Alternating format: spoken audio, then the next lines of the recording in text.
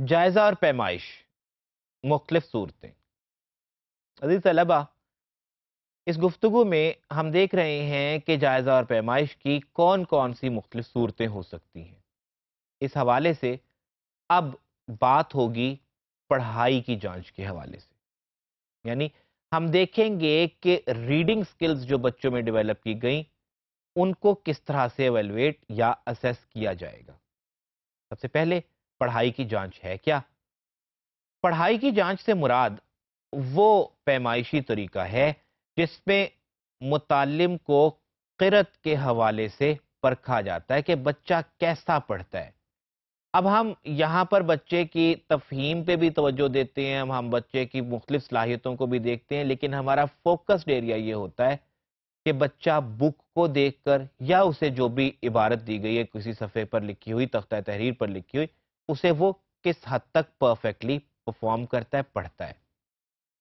इस सिलसिला में जब आप यानी कि रीडिंग स्किल्स की एवेल्यूशन कर रहे हों तो जिन बातों को आपके लिए मलहूज खातिर रखना ज़रूरी है, बतदरीज क्लास को मद्देनज़र रखते हुए ज़ाहिर है कि ये बातें बनती हैं, लेकिन बहरहाल इनकी तरतीब मुख्तसरन कुछ यूँ बन सकती है कि हिज्जों की जाँच।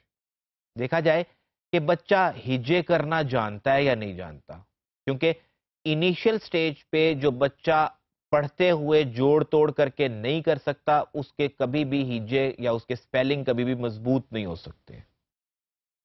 उसके बाद है तलफ़ुज़ की जाँच, कि जब बच्चा पढ़ रहा है तो उसका तलफ़ुज़ कितना बेहतर है, उसकी प्रोनाउंसिएशन उसका लबो लहजा कितना अच्छा है।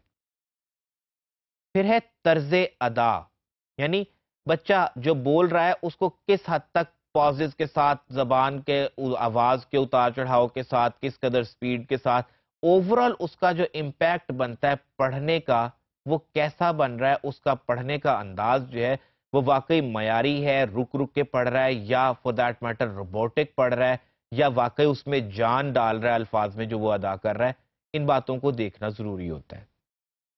फिर है दुरुस्त तफहीम।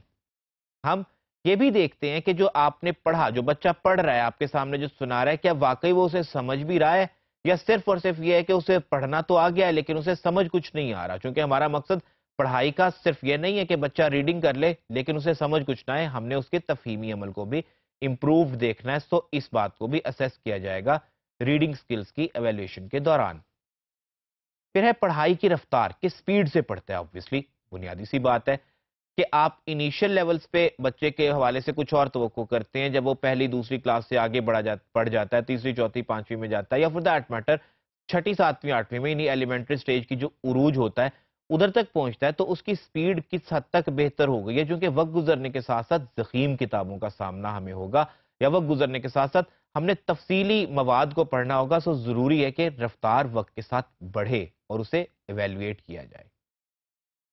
फिर है, दौरान किरत दुरुस्त नशिस्त का मामला जो होता है, दुरुस्त नशिस्त नहीं होती है। अमूमन स्टूडेंट्स ये नहीं ख्याल करते और ख़ास तौर पे अज़ीज़ तलबा बतौर टीचर आप लोगों को ये बात जहन में रखनी चाहिए कि पहली दूसरी क्लास में या इवन स्पेशली अंडर वन बच्चों को ये आदत बहुत मुश्किल से डेवलप होती है कि वो स्ट्रेटली बैठ के पढ़ें। ज़ाहिर है स्ट्रेस होता है मसल्स पे, बच्चा इजी होना चाह रहा है। नेचुरली हर बच्चे, बंदे की ख्वाहिश होती है। तो ज़रूरी है कि आप इनिशियल लेवल पे उसका सिटिंग पोस्चर वाइल रीडिंग अगर आप दुरुस्त करवा देंगे तो with the pace of time ये ऐसा पुख्ता होगा कि ज़िंदगी भर ज़ाहिर है, कायम रहेगा। फिर असेस करते हुए रीडिंग स्किल्स को असेस करते हुए आप देखेंगे कि आँख और किताब में मुनासिब फासला है या नहीं। बसौकात बच्चे अननेसेसरीली करते हैं, ऐसा बसौकात आई साइट के वाइस भी हो सकता है। तो टीचर मस्ट असेस इट कि ये क्यों हो रहा है, और अगर ये सिर्फ़ वैसे ही आदतन हो रहा है तो ऑब्वियसली इसका अजाला किया जाना बहुत ज़रूरी है। फिर है, मुनासिब आवाज़ आवाज़ का मुनासिब ज़ीरो बम, उतार चढ़ाव पढ़ने के दौरान कैसा आता है? और उसके बाद है आखिरी, नज्म और नसर की किरत में तमीज़। बच्चे को पता हो कि वो नसर पढ़ रहा है, बच्चे को पता हो कि वो नज्म पढ़ रहा है, पढ़ने के हवाले से वो असेस कर ले बुनियादी, ज़ाहिर है कि ये तहरीर की या इजहार की दो बुनियादी सूरतें हैं जिसका बच्चे को पता होना चाहिए।